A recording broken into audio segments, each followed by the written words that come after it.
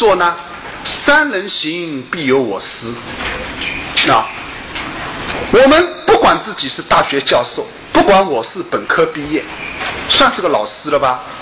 哎，但是我们任何叫两个朋友跟我去东钱湖边上逛一圈，你去跟他谈谈，你就会发现他们两个人当中都有在某一个方面或多或少可以成为你学习借鉴的老师。哎，这是肯定的。所以古话讲得好，“三人行，必有我师。”哎，所以人不能太自以为是啊！人外有人，天外有天呢。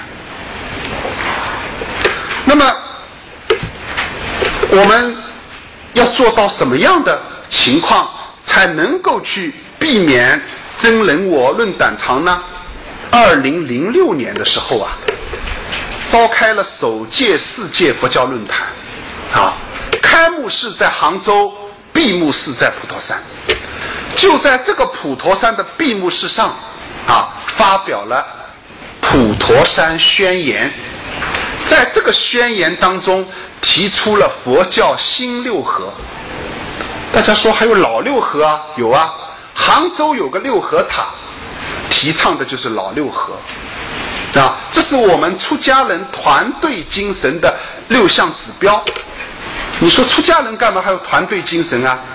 哎，你不知道，那部队啊叫铁打的营盘流水的兵，寺院呢铁打的常驻流水的僧，啊，部队来自于五湖四海，出家人也来自于五湖四海。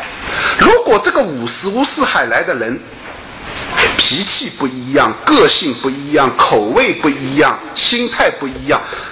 那就乱成一锅粥了，那所以出家人不好带的，那那么用什么去带领出家人，去团结出家人呢？那就用六合精神来团结。因此，杭州钱塘江边上有一个巍峨的宝塔，叫六合塔。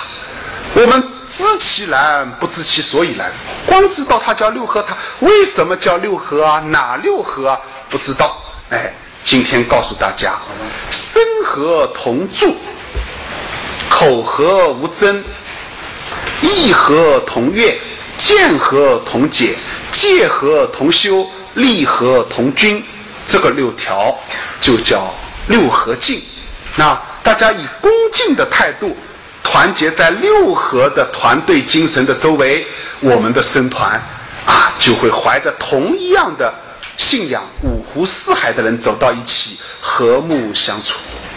那么现在呢？我们推而广之，要去影响这个社会，因为我们零六年的世界佛教论坛的宗旨叫什么？啊，叫和谐世界重新开始。这个新不是新旧的新，而是心灵的心啊！创造一个和谐世界，需要从心灵的。环保做起啊，从心灵的净化做起啊，所以提出了新六合，怎么讲呢？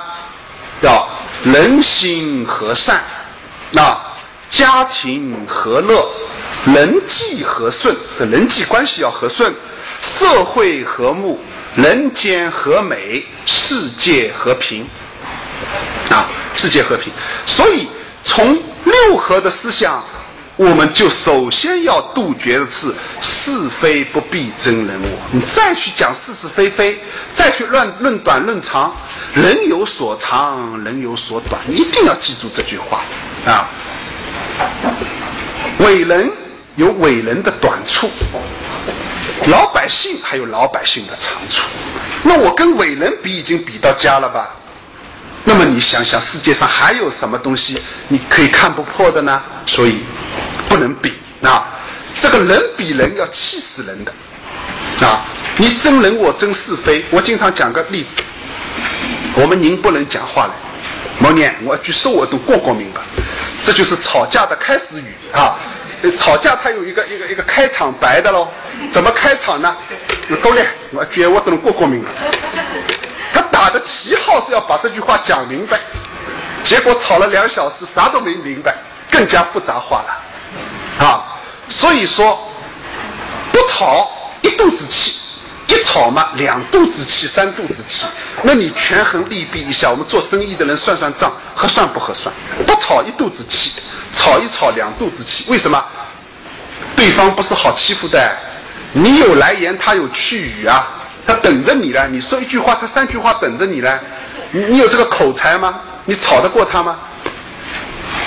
我以前遇到过一个人，男同志，特别爱吵架。他不吵架精神没有，一吵架红光满面。他吵架吵到什么境界？跑到你办公室来吵架，一边吵架一边找你的茶叶罐头泡茶叶泡茶，喝一喝，还说你这茶不够好。泡着你的茶来跟你登门吵架，他达到这种境界。我们一吵架浑身哆嗦，饭都吃不下了，对不对？所以人的境界不一样啊，人境界不一样。但我觉得遇到吵架会哆嗦是好境界，大家不要认为这是坏境界哈。这过一会儿我还有理论来支持，还有理论来支持哈。哎，那么什么理论呢？世事由来多缺陷，世界的事情啊。从来从开始啊，就是一个缺陷的社会，缺陷的世界。那你对这个基本事实要有一个基本的认同，你要有心理作用。这个世界不是完美的世界，这个世界不是个君子的世界，因为它不完美，因为它不是君子，所以你不要要求太高。那所以世事由来多缺陷，患区焉得免无常。那。那么这个什么意思呢？这个世界它本身啊不是不尽如人意的，所以我们要创造世界，要改变世界，我们去改造它，是吧？人心不古，我们改造人心，我们净化人心。那么净化人心是净化别人的心，还是净化自己的心啊？全部都是净化自己的心。先要自觉，再去觉他。然后觉醒圆满，你就成佛了。这是三部曲，一定要记住，不是先去净化别人、改造别人，先是净化自己、改造自己啊。所以佛教界有一句话：“真认自己错，莫论他人非。他非即我非啊，同体名大悲啊。真正的认识到自己的不足和缺陷，真认自己错，莫论他人非。”啊，这样的话呢，我相信啊，是一种感召的力量，别人也会反省的。为什么人心还是漏长的？当你认识到自己错的时候，别人也会反省的啊。因为这个世界啊，由来多缺陷，不如意事常八九，所以呢，我们这种虚假的身体，在这个短暂的人世间，啊。你过分的去较真，过分的去争执，有什么意义呢？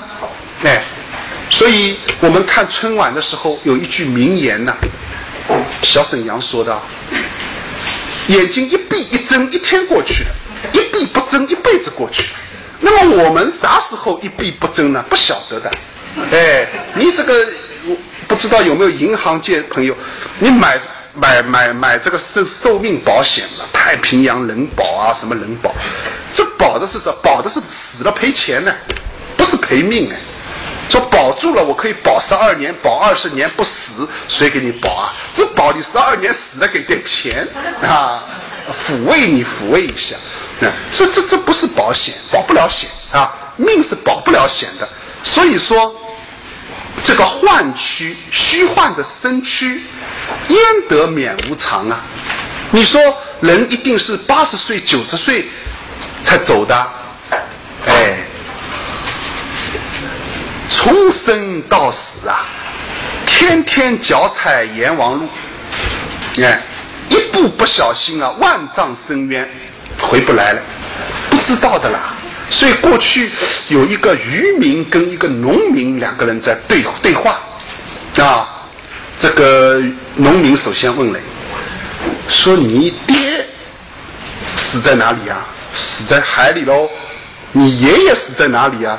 也死在海里喽。那你还敢出海啊？是不是渔民嘛？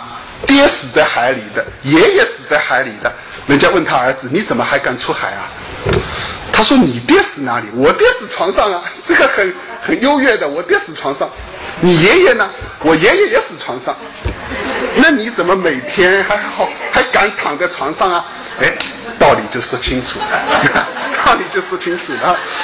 爹也死床上，爷爷也死床上，最后自己还天天睡在床上啊。但是什么时候跟爹走，跟爷爷走呢？不知道啊。所以我们呢，趁现在在的时候啊，要积功累德啊，要为未来啊，要开始准备，要打点啊，要打点。所以这个是非不必争人我，彼此何须论短长这几句话看似简单，实不简单。如果大家觉得一时半会儿做不到，可以拿出一种心态来。什么心态？孔老夫子七十登泰山的心态。啊，孔老夫子七十岁了，孔子山东人啊，山东有东岳泰山呢，啊，孔老夫子也想去登，登到一半呢，老了，过去人生七十古来稀呀，实在走走不动，过去没有索道了，孔子实在走不动，最后孔子说了，高山仰止，景行行止，虽不能至，心向往之。哎，这孔子出口这是雅言呐哈！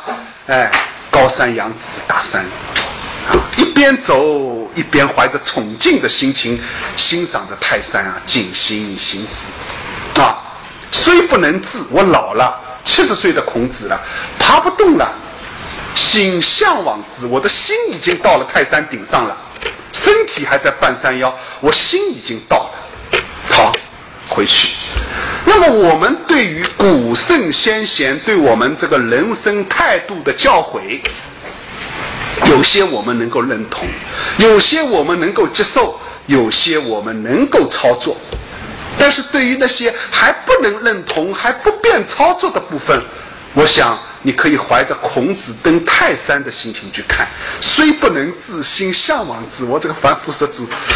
哎，层次还太低哈，暂时对这个四百年前的教诲啊，还很难做到这一点啊。但是心向往之，那今年做不到，可能后年做到；现在做不到，退休的时候终于做到了。哎，你的人生就进步了啊。那么，大家看第五段：这些亏处原无碍，退让三分也不妨。春日才看杨柳绿，秋分又见菊花黄。啊，这个词是非常非常的美啊！啊，它首先告诉你吃些亏处原无碍。那么大多数人的这个价值观是什么？我凭什么要吃亏啊？为什么要我吃亏呢？那让他吃亏好了，我不能吃亏啊！所以这就是在讲人我，真人我啊！所以我们说。观世音菩萨明明是一个大丈夫，啊，《华严经》上讲：“勇猛丈夫观自在，为利众生住此山。”啊，观世音菩萨是大丈夫。但是为什么我们在普陀山看到的，我们在小普陀看到的，观音菩萨都现女生？因为天下慈母，天下慈母啊。不论是非，不争人人我，不怕吃亏的，只有妈妈对孩子才能达到这个境界。因为养孩子如果照吃亏不吃亏算啊，那还是养猪划算了。对，猪大了还能卖肉，儿子大了卖不了肉。啊，有的养个逆子气死你呀，气死你！那过去有个故事叫墙头计。老大叫大乖，老二叫二乖，名字取得很好，可惜不乖。最后说老大吃半个月，老二吃半个月，那一个月三十一天，多一天怎么办？老大跟老二家当中隔着一堵墙，让妈妈骑在墙头上，就骑在墙头上，老大也不要，老二也不要，今天都不归我管，那就骑在墙头上了，叫墙头记。你生儿子生到这个程度了，那是不是还是养猪合算呢？啊，那么我们说，母亲对孩子有这份好，孩子对母亲有这份好吗？妈妈在外面吃到的好东西，我咬一口这么好吃，我包回去给我儿子吃。这个都发生在二三十年前的事情。现在物质极大丰富了，哈，妈妈也用不着包东西给孩子吃。但是我还遇得到，我在普陀山有时候拿一些供过佛的糕点给给那些年轻妈妈吃，有些人就马上就藏在口袋里，说我带去给我儿子吃。我看到了很感动，马上一定再给他一份。你这一份带去给孩子吃，这一份你自己吃，你自己一定要吃一个啊。但我觉得如果。有个孩子，他在外面吃到一个好东西，会说：“这个我妈妈肯定很爱吃，我我我把它买去。”我觉得这个母亲太幸福了，真的生到了一个好儿子啊！这样的好儿子能不能多一点呢？我相信慢慢会多起来。人是靠教化的，什么叫教？晓之以理谓之教。什么叫化？动之以情谓之化。所以教而化之啊！所以我们一定大家要多听佛法，哎。听佛法就是净化心灵、祥和社会啊！我想对这个社会、对这个家庭、对我们的人生是绝对有帮助的啊！所以我们这里讲，只有父母在子女面前是最愿意吃亏的，那不求回报的啊。那么我们把这种慈悲的母爱，把这种崇高的胸怀。能不能做些提升，做些扩大？所以有一首歌唱的：当世间人人充满爱啊，这个世界变成美好的人间了，对不对？我们听这个歌的时候，你说有感悟吗？有感悟，会感动吗？会感动。唱完就结束了，啊，唱完就结束了。所以说这个学雷锋也是，过了这个季节就雷锋就没有了。就学雷锋那一天，什么摊头都出来了啊，量个血压也是免费的。这学雷锋的日子到了，过了第二天。就雷锋同志说没户口，说三月来了四月走，他就到了这个月份到了，他就就来一下，最后雷锋又走了啊。那么我们要把雷锋永远让他定居在这里，常态化、长期化、经常化啊，那就变成没有办法怎么办？人人变雷锋，做不到一个大雷锋，也做点小雷锋吗？是不是？所以先吃点亏啊，雷锋最吃亏的。出门几千里，好事一火车，怎么会不吃亏呢？做好事肯定要吃亏，做好人有时候也要吃亏。但是，啊，大家要记住啊，哎，吃亏是有福的，啊，人不能过地文上的出去，地文我为滤镜的，啊，哎，有舍必有所得，啊，吃亏是福，有舍有得。风水轮流转，明年我到家。因为您行善积德，做好事了，啊，命由己造，相随心转。修心补相，相也越来越好，命也越来越好，你家风水也会好，啊，这样的话呢，不怕。那所以啊，表面利己，最终还自利啊。啊，表面现在我吃亏，我是利了别人了，最终还自利啊。所以我们记住一句话。恶人人怕天不怕，善人人欺天不欺。我们相信苍天是公平公正的，因果报应是公平公正的。哈，所以退让三分也不妨。我还是要讲这个故事啊，因为有些朋友听过我碟片的，听过没听过碟片就不知道。这个故事太有教育意义了。清朝乾隆年间，大家有看这个？呃，什么《康熙微服私访记》里头有一个大学士张廷玉，啊，那是内书房行走，很厉害。张廷玉家里出了一件事情，可能是他哥哥，老家哪里呢？安徽桐城，啊，梧桐树的桐，安徽桐城。那么清朝没有宰相了，没有宰相。你说刘罗锅不宰相，相当于宰相。没有宰相这个职位，说清朝宰相是谁？没有，内阁大学士，军机处行走，这就相当于宰相，因为他替皇帝处理政务，军机处嘛，是吧？军政大权他都过问，所以相当于宰相。所以在清朝不会是一个宰相、两个宰相的，有一帮宰相，就皇帝身边的内阁大学士。那么这里头我又讲到了张廷玉家，那就相当于宰相家了。结果三安徽桐城老家建房子，为了一堵墙吵起来了。你争了我的地，我争了你的地。那你说宰相家里的人会怕你吗？这种人脑子拎不清了，人家打狗看主人，我家都有宰相，你还欺负我？写了一封家书就送到北京，那也带有一点挑拨离间的话，意思说你得好好的过问一下啊！你大学士给这个县令打个招呼，县令马上给我摆平啊！谁还跟跟我家争强啊？好，这个从北京到安徽几千里路啊！那不是现在能够坐飞机、坐动车的，多辛苦啊！赶过来写了一份告状书。那这张廷玉家里的兄弟，这可能不是讲江廷玉，讲张廷玉的一个哥哥啊，了不起的人物，也是个大官。拿起笔就在这个信上面批了一首诗啊，啊，千里投书只为墙。那一千里投书就为了一堵墙，让他三尺又何妨？万里长城今犹在，不见当年秦始皇。啊，这个多高啊！啊，的境界啊！宰相肚里能撑船，体现在哪里呀？就体现在这里。哎，那么这个家人看到这封信啊，也是惶恐万分啊，回去就主动退后三尺。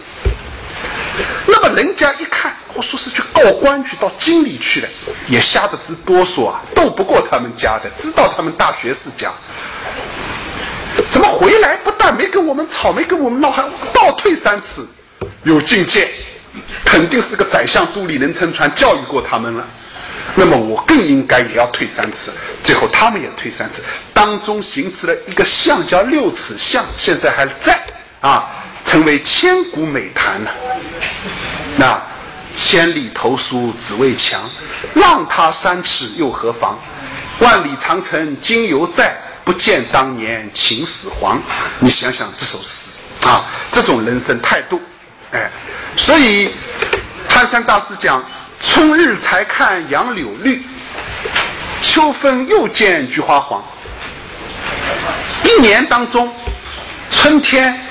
杨柳绿，我们东钱湖天天见杨柳绿，啊，到了秋天又见菊花黄，光阴快不快？啊，我们平时说，过了春节，那就五一了，过了五一就这个国庆了，国庆过了又可以看赵本山小品喽。可赵本山小品一看有代价，一岁又没了，啊，那等着好了，很快，上一个小品还。这个余音绕梁啊，还还怎么说？还记得自己怎么笑的？都还好像就像昨天还刚看过，呃，又要有新小品看，快不快？所以我们看看小草，野火烧不尽，春风吹又生。算来人命不如草了。您能够春风吹又生，能够吹几回啊？是吧？哎。草能够永远的春风吹又生，春风吹又生，这么撑下去，你吹一吹，吹越吹越老，最后就吹不起来啊！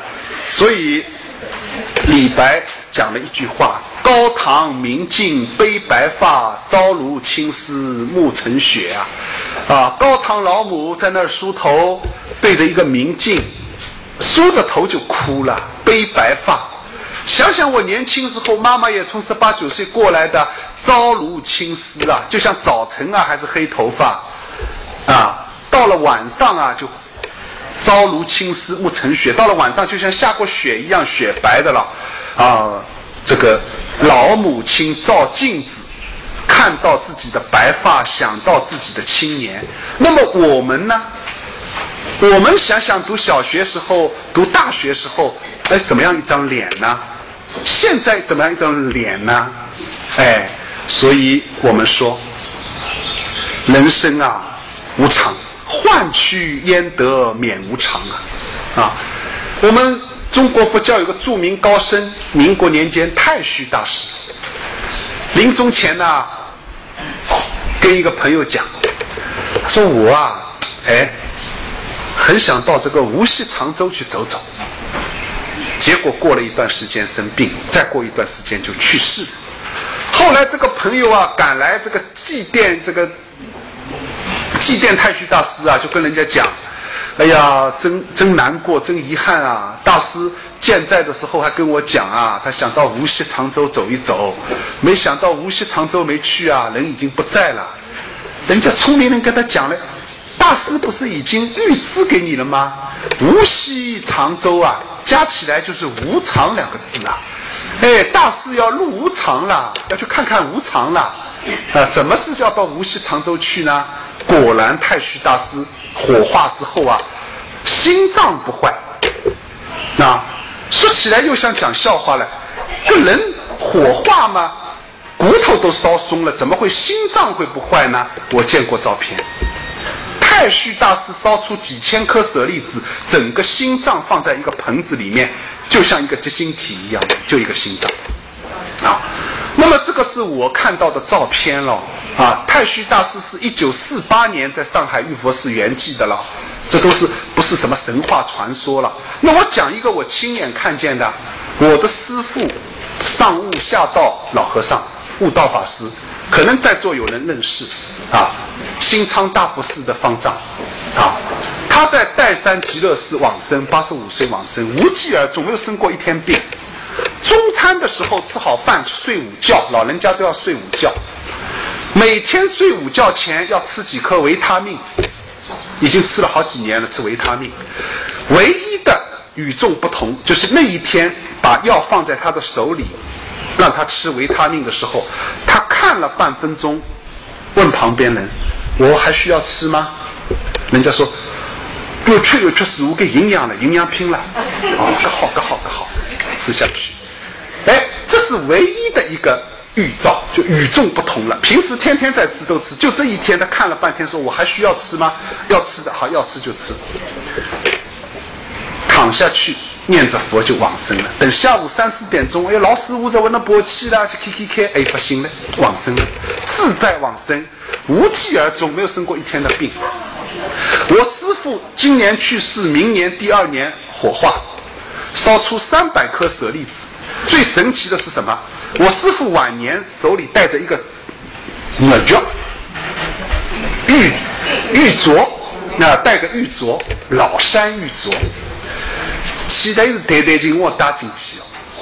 哎，现在又捞捞不出来了，这就好搭点了。最后啊，铁门都烧红了，啊。骨头也烧酥了，就是这个玉镯完好无事无事，现在还供奉在岱山极乐寺。因为我们讲玉石俱焚啊，玉石在高温下会爆掉的，石头你去烧一烧也会爆掉的，是不是？玉石的这个高温下啊，烧出舍利三千颗舍利子，玉这个玉镯完好无损，这都是灵异现象。所以太虚大师的心脏不坏。这个憨山大师的肉身不坏，乃至我师父的玉镯不坏，都是一种感应。所以佛法是充满着不可思议的一种灵应力在里面，那给众生啊做一些见证和榜样啊。因此呢，我们讲刚才讲，人的生命活不到一百岁，所以大家不要认为年过半百，好像五十岁好就到人生的一半了。实际上我们讲。年过四十啊，黄土到腰，那，黄土到腰，哎，四十岁以后啊，差不多黄土到腰了。虽然我们说我们生活质量很高，我们能够活八九十岁，我还有四五十年，哎，后四十年跟前四十年是两回事喽。哎，前四十年你是什么胃口？你是什么经历？你是什么心态？你是什么身体？你是什么面孔？你去照照镜子看，看看照片，三十岁时候怎么样？二十岁怎么样？今年四十多怎么样？将来五十岁会怎么样？啊，这个人生焉得免无常啊！春日才看杨柳绿，秋风又见菊花黄啊！就是这样的一种情形啊！我们要有感悟啊，要有感悟，不要不识庐山真面目，只缘身在此。十三中啊，呃，有时候要留一半这个清醒啊，一半醉但是我觉得现在清醒的时间少，醉的时间多就不好了啊，还是要醒的时间多一点，醉的时间少一点。所以憨山大师给我们写警示歌，我跟大家讲警示歌。大家看第六段：龙华终是三更梦，富贵还同九月霜。老病生死谁替得？酸甜苦辣自承当。哎。什么叫荣华？荣是荣耀，华是奢华。那荣耀而又华贵而又奢华的日子和享受，这是我们都期盼的啊！我们都期盼的。但是来也匆匆，去也匆匆啊！啊，能够活九十岁是大家的造化啊。活不过四十岁是某些人的悲哀，人生没有公平可言的。要说公平，只有因果报应是公平的，剩下的都不公平的。富贵的人是这么的富贵啊，啊，他一个小时挣来的钱呢，抵得过你挣一年；他一小时的进账，抵得过我们很多人挣一年。没钱的人是这么的没钱，我们居然听说在西北地区什么？几个人拼一条裤子，我都当传说听。但有人再三强调是他亲眼目睹的，就在这几年还有。那，所以我有印象最深的，十年前我看过一个一个地方，就在中国的广东省。广东在我们心目中啊是非常发达的沿海发达地区，但是居然广东有一个穷县。啊，在清朝的县志当中讲，说是天下之穷县也。清朝以来就一直穷的，到现在没有改观。十年前是怎么？我见到一个记者去采访一个一个老头，长得很矮，我印象很深刻。这老头抽这个香烟是捡来的香烟，这个这个这个卷起来的啊，抽着香烟，大手指甲的手指甲这么长，这我印象很深。他这个手指甲抽烟，这个有个这么长的手指甲。问他，阿伯啊。你现在饭能吃饱吗？他怎么说？我活这么大年纪没吃饱过饭，八十来岁，一天香烟还在抽，这饭他没吃饱过。你想想，这个世界上啊，有荣华有贫穷，那我们不讲贫穷啊，贫穷是一场梦，是一场噩梦。富贵是不是梦呢？富贵也是一场梦啊。龙华宗室啊，三金梦啊，这多音字，又念登根啊，又念金啊，这打金啊，三金天，金是这个读音比较标准啊。哎，龙华宗室三金梦，什么叫三金？深夜十一点到凌晨一点啊，我们说的子子时啊，子午之交，这个时间点。三经，啊，那么四百年前三经梦，四百年后啊，三经是吃夜宵的时候，啊，是这个正是这个跳舞跳得好的时候，啊，还没回家。有的人说我刚出来十一点钟，车刚刚刚发动，刚出来，夜场开始了，晚上十一点，啊。那这个三更梦，三更不做梦了。现在人不做三更梦，我说可能做四更梦、五更梦啊。那意思大家知道啊。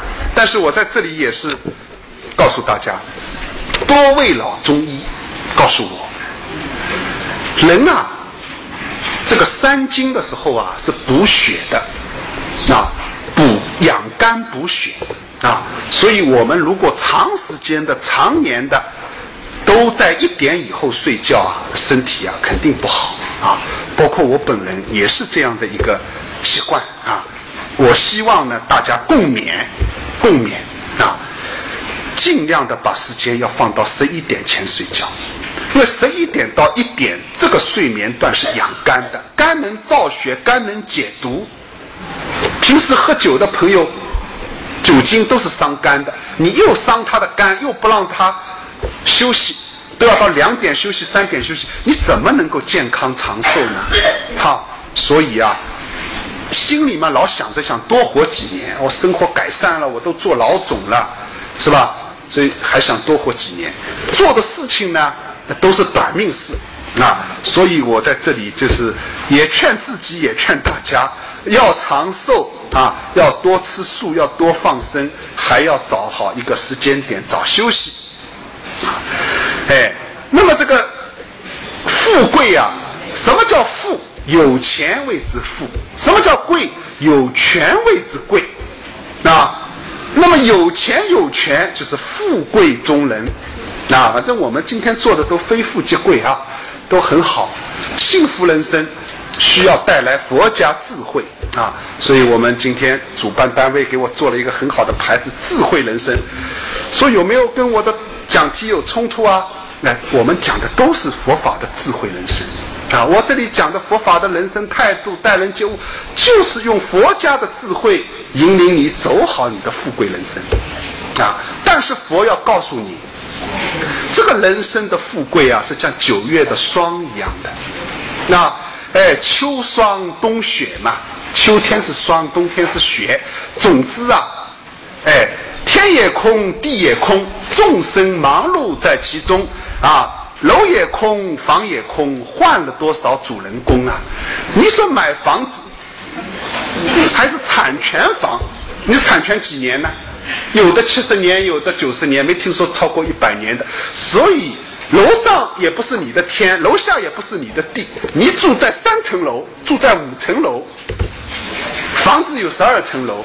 那么你买了个什么呢？告诉大家，你不是买了块地，也不是买了个房，你买了个居住空间。你在空中镶在那个空中吊在那里，这一块是你的，啊，天也不是你的，地也不是你的，你就夹在当中，买了个居住空间，啊，所以啊，人生匆匆如过客啊，大家请我来，很多我的徒弟盼着我。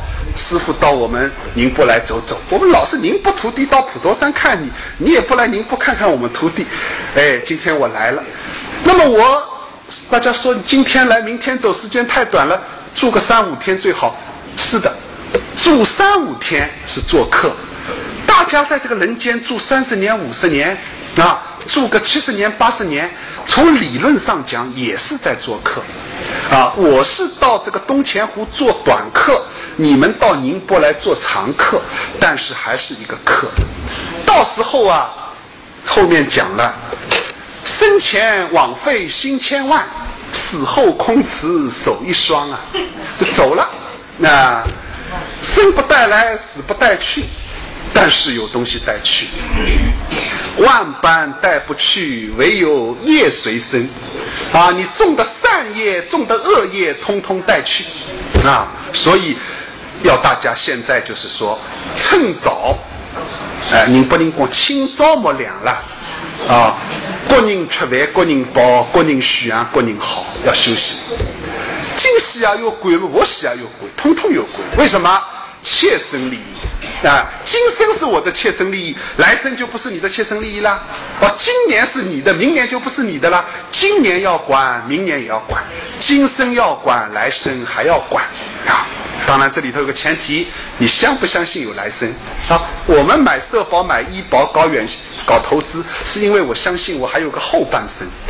哎，如果你不相信有来生，那无无所谓修行啊。如果你相信人死之后是有来生的。